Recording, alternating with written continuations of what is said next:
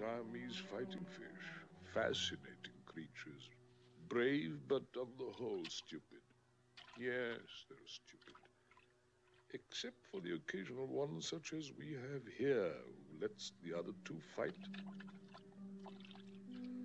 While he waits.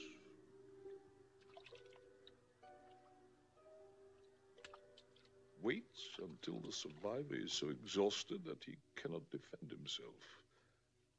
And then, like Spectre, he strikes. Number two has done well. Unlike Count Lippe, whose choice of Angelo might have jeopardized the success of our project. Send a message to the execution branch. Why have you disobeyed my strictest rule and come in daylight?